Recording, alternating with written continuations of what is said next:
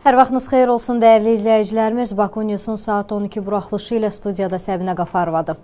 Beləliklə bu saatda kimdən və nədən xəbər tutacaqsınız? Azərbaycanlı tələbələrin nəşi ailələrinə nə vaxt təhvil veriləcək? Türkiyəli millət vəkilindən açıqlama. Xilasedicilərimiz 53 nəfəri sağ, 691 nəfərin isə cəsədini dağıntılar altından çıxardı. Nazirlik açıqlama yaydı. 30 ildir bu, bu vəziyyətdədir. Göyçə sakinlərinin kabusuna çevrilən problem nə vaxt həllini tapacaq? İndi isə daha ətraflı. Xəbər verdiyimiz kimi zəlzələnin 9-cu günündə Türkiyənin Malatya şəhərində dağıntılar altından Azərbaycanlı tələbələrin meyitləri çıxarıldı. Əməkdaşlarımız həmin tələbələrdən biri Şahin Vəliyevin Gəncədəki evində olublar. Balam ağıllı, kamallı balaydı.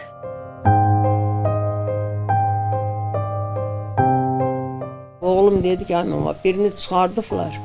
Oxşuyur Şahinəm və o deyil. Çünki boyu uyğun gəlmədi. Onun boyu 1.90-dır. Daldan da birini çıxardanda belə zəng elədim, dedi, ay mama, ürəyim sıxılır, danışamıram. Şahinin meydini çıxardıblar. Bir də Samirin meydini çıxardıblar.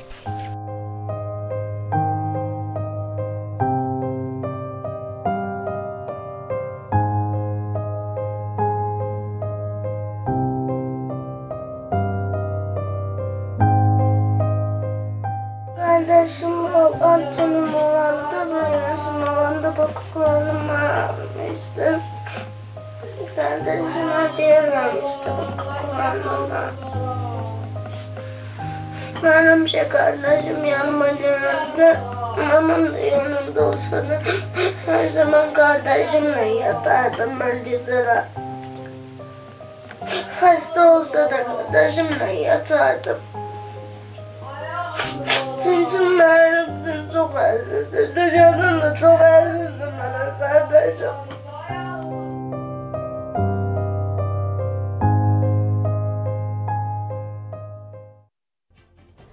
Tələbələrimizin nəşinin ailələrinə nə vaxt təhvil veriləcəyi də açıqlanıb. Malatyadan olan millət vəkili bu barədə açıqlama verib.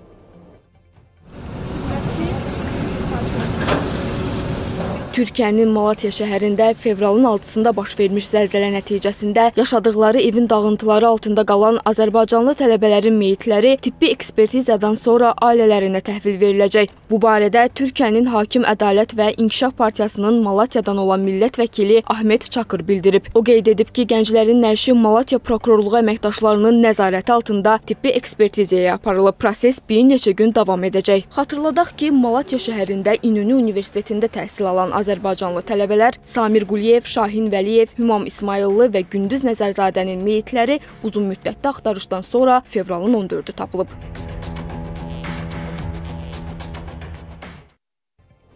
Qardaş Türkiyədə fəlakət bölgələrindən həm yerlilərimizin təxliyə prosesi davam edir. Xarici İşlər Nazirliyindən verilən məlumata görə artıq 513 nəfər vətənə gətirilib. Türkiyədə zəlzələdən zərər çəkən Azərbaycan vətəndaşlarının müəyyən edilməsi və onlara köməklik göstərilməsi istiqamətində işlər davam edir. Bu barədə Xarici İşlər Nazirliyi məlumat yayıb. Zəlzələ baş verən gündən etibarən 513 nəfər Azərbaycan vətəndaşı və onların yaxın ailə üzvləri olan xarici ölkə vətəndaşları zəlzələ bölgəsindən təxliyə olunub. Zəlzələnin baş verdiyi bölgələrdə təxliyə prosesi davam edir. Eyni zamanda zəlzələ bölgəsində yaşayan və ya müvəqqəti məskunlaşan Azərbaycana təxliyə təxliyə olunmaq niyyətində olmayan vətəndaşlarımızın diqqətinə çatdırılır ki, zərər görmüş əraziləri tərk etmək istəyənlər üçün müvafiq vilayətlərdə jandarma bölmələri tərəfindən təxliyə məntəqələri yaradılıb. Bu məntəqələrə müraciət edənlərin Türkiyənin təhlükəsiz bölgələrinə təxliyəsi qardaş ölkənin aidiyyatı qurumları tərəfindən ən uyğun hesab edilən vasitələrlə təmin edilir. Fəlakət bölgəsini fərdi nəqliyyat vasitələri ilə tərk etmək istəyənlər ərazini tərk etmədən öncə yerlərdəki təxliyə məntəqələrini bununla bağlı xəbərdar etdikdən sonra təyinat şəhərlərindəki sığınacaq məntəqələrinə istiqamətləndiriləcəklər. Fövqəladə Hallar Nazirliyinin xilas ediciləri zəlzələdən ciddi zərər görən Kahramanmaraş ərazisində həyata keçirdikləri axtarış xilas etmə əməliyyatları nəticəsində dağıntılar altından 53 nəfəri sağ, 91 nəfərin isə cəsədini çıxararaq adiyyət üzrə təhvil veriblər. Axtarış xilas etmə əməliyyatları xüsusi texniki vasitələr, ha belə xilas etmə etlərinin tətbiq edilməsi ilə davam etdirilir.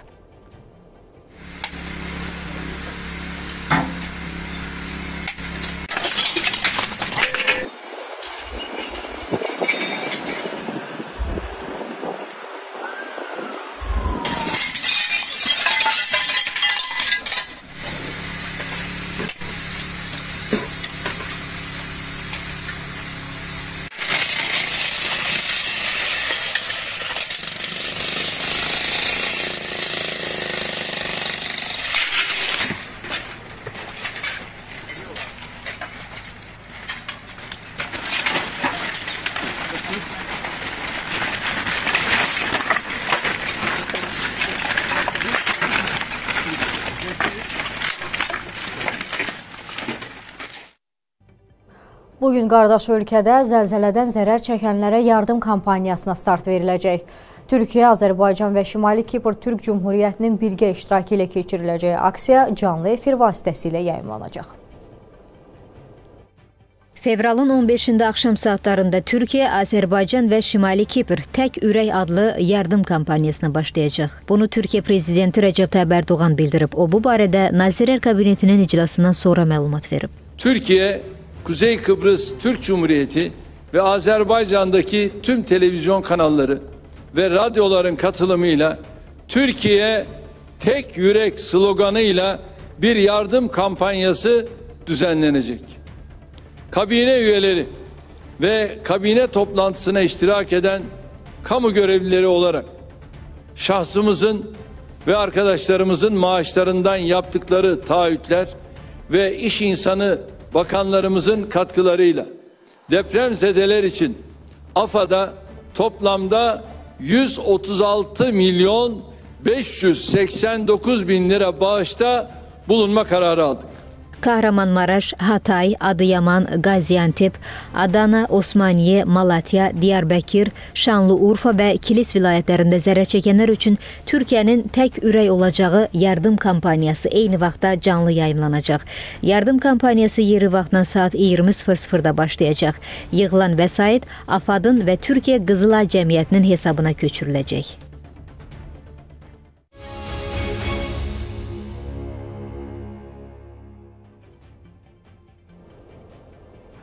Davam edirik.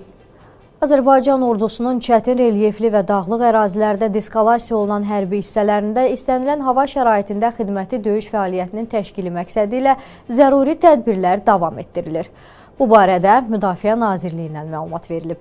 Bildirilib ki, təxliyə yollarının daim işləy vəziyyətdə saxlanılması, avtomobil və döyüş texnikası kolonlarının təhlükəsiz və fasiləsiz hərəkətinin təmin edilməsi üçün fevral ayı ərzində Kəlbəcər, Laçin və Daşkəsən istiqamətində ümumilikdə 2780 kilometrdən çox yol qar örtüyündən təmizlənib.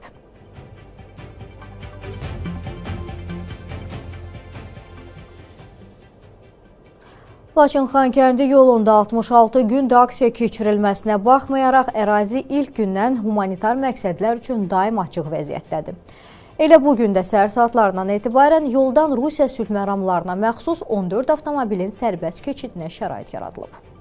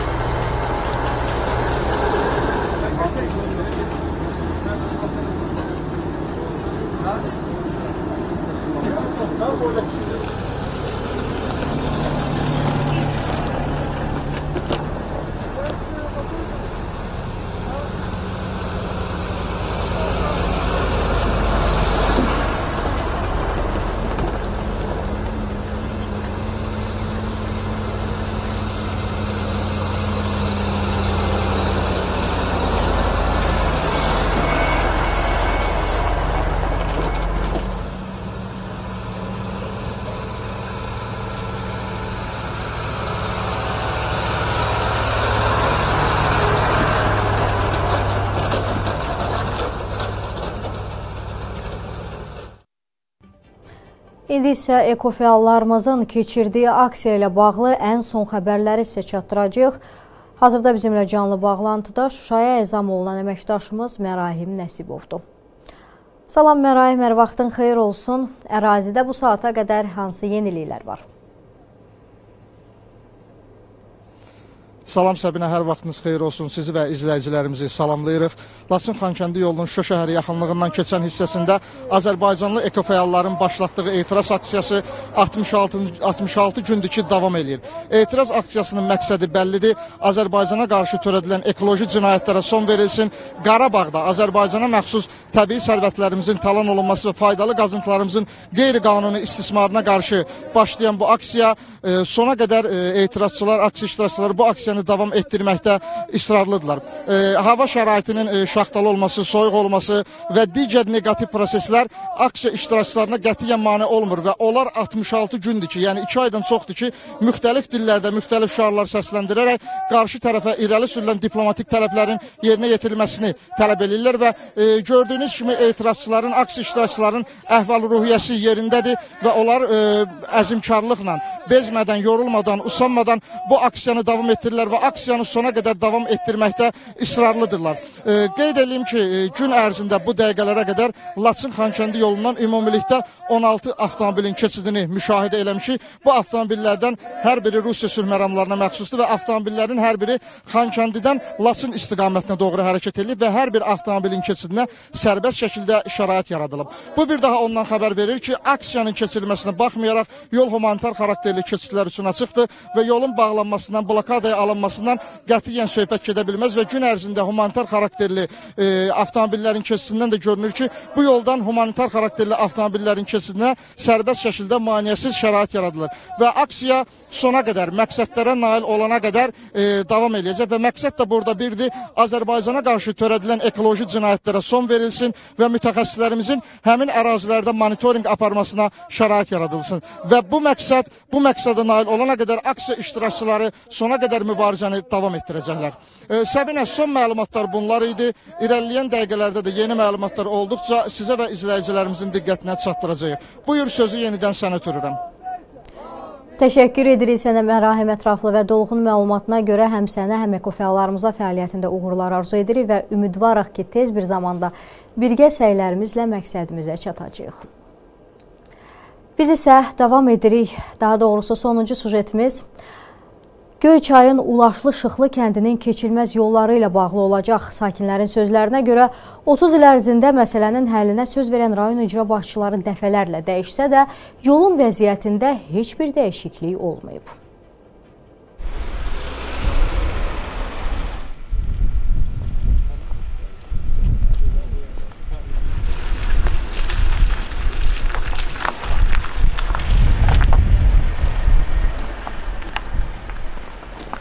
uşaqlar gedib gələ bilmir ya bir şey. Başçının qəbulunda olmuşuq dəfələrlə. Ən yaxın kənd rayona bura baxılmır.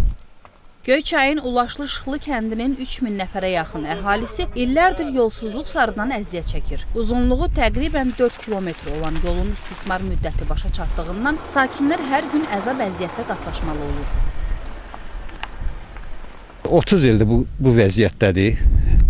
Demək olar ki, hər icra başçısı gələndə müraciət eləmişik. Onlar da söz veriblər ki, gələn layihəyə salınacaq. Belə-belə ötürə-ötürə gəliblər. Maşınlar şaravoy dəyişməkdən, rulavoy dəyişməkdən daha bir təhər olmuş. Nə qədər maşını remont aparmaq olar? Demişdilər ki, e, dekabrın axırına kimi asfaltlanacaq. Sonra dedilər yanvarın 15-nə kimi. Sonra dedilər fevralın 1-nə kimi, indi də martın 1-i deyirlər. Yağın ki, martın 1-də də gələn aprelin 1-nə gedib çıxar da yağın ki. O da o düşür aprelin 1-nə, o çox güman ki, ilin axırına gedir. Uşaqlar gedib gələ bilmir, işləyə bilmir. Maşın, texnika, heç nə yoxdur. Skor gəlib getmir. Dərdimizi kimə deyək? Heç kim maraqlanmır bizlə. Yol istəyirik. 3 kilometr yol istəyirik. Başqa heç nə də istəmirik. Palçıq olur. Uşaqları səhər-səhər gül kimi geyindirirlər, evdən çıxardılar məktəbə. Uşaqlar evdə məktəbdən evə qayıdanda lazımdır ki, o paltar təzədən yuyulsun, təzədən qurudulsun. Sürücü kimi valla bir dəfə girib çıxırıq, iki dəfə girib çıxırıq, maşınlar dağılır gedir də. Perodok sistemi dağılır gedir. Yanacaq da artıq sərfiyyat işlədir. Xəstəmiz olur, skoru gəlmir. Gəlirik, xəstə can verir, öləndən sonra gəlib çıxır. Bu yolla skor gəlib gedə bilər. Ondan sonra maşınlarımız qardaş, uşaqlarımız şəhərdə məktəbə gedən, gələni var, hazırlığa gedəni var. Axşam olur, elə olur avtobus sınır. Xahiş edirik maşın taksilər qardaş 6 manatdan 7 manatdan aşağı 3 kilometr yol. Öz maşınlarımız da xarab olur, stroydan çıxır, kasıb adamlarıq. Dəmirin birin 10 manata, 20 manata verirlər, qurban olum. Problemlə bağlı üz tutduq Göyçay rayon icra hakimiyyəti başçısının Potu kənd inzibati ərazi nümayəndəliyinə.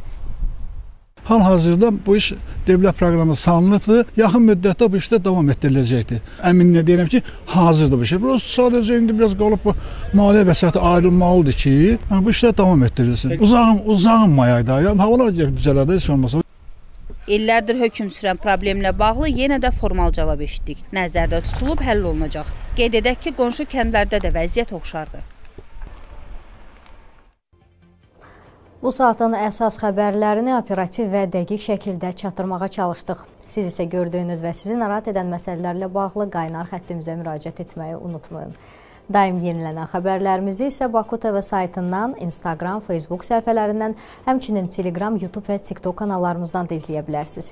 Diqqətinizə görə təşəkkür edirik. Növbəti buraxılışımızda görüşmək ümidi ilə.